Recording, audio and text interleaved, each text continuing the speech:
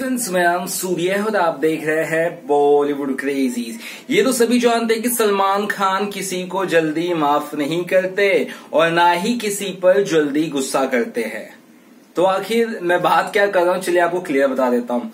विवेक ओबराय, जिनकी हाल ही में एक फ़िल्म आने वाली थी मोदी बायोपिक आने वाली थी, नरेंद्र मोदी के ऊपर जो बायोपिक बेस्ड हमारे प्रधानमंत्री पर, वो कहीं ना कहीं किसी तरह से डिले हो गए, लेकिन इंटरव्यू जो एक था वो इंटरव्यू में साफ़ साफ़ सवाल पूछा ट्रिकी सवाल पूछा गया विवेक ओबराय से कई सारे। उसमें से कैसे सवालों के बारे में, हर एक पर्सनैलिटी के बारे में पूछा गया। तो विवेक ओबराय जवाब दे रहे थे जिससे राहुल गांधी के बारे में पूछा गया कि क्या वो थाईलैंड गए थे। इस तरह से फिर विवेक ओबराय ने आंसर दिया। राहुल गांधी को देखकर उन्हें क्या ख्याल आता है? वैसे ही पूछा गया कि सलमान खान को देखकर विवेक ओबराय को क्या ख्याल आता है? तो विवेक ओबराय को पूछा गया कि क्या ख्याल आता है वो सलमान खान को देखकर। या सलमान खान का नाम लेते हैं तो क्या ख्याल आता है? तो उन्होंने कहा कि do you believe in forgiveness यानी क्या आप माफ़ी देने में विश्वास करते हो?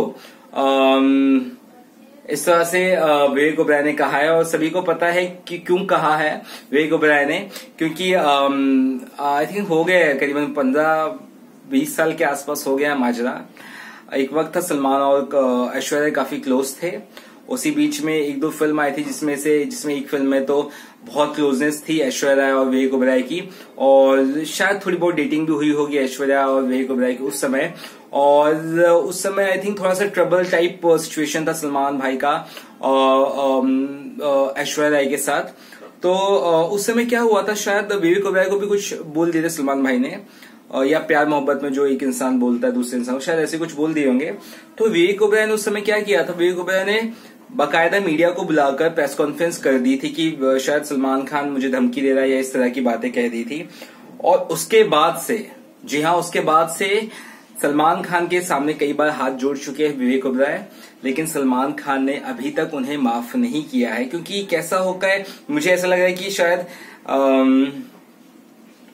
चीज़ें बहुत ज़्यादा बढ़ गई थी आगे। आई थिंक वो सलमान खान के कैसे सही बात, कैसे लोग ये कई मेरे भी ऐसा ही है, जो दिल से उतर जाता तो उतर जाता जल्दी वो आता नहीं। वैसे रहना भी चाहिए हमें।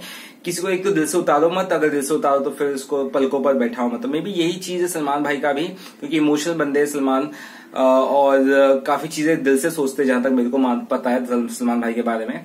तो यही चीज़ है जो विवेक ओबराय ने हाल ही में कहा कि क्या वो माफ़ी देने में विश्वास करते हैं? क्योंकि आई थिंक विवेक ओबराय को अगर आखिरी कोई चीज़ चाहिए होगी अपनी फिल्मी कैरियर की तो वो चाहिए होगी सलमान खान उन्हें माफ़ कर दे।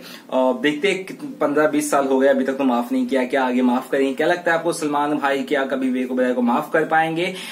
या नहीं, ज़रूर बताइएगा। चलिए फ़िलहाल कितना ही।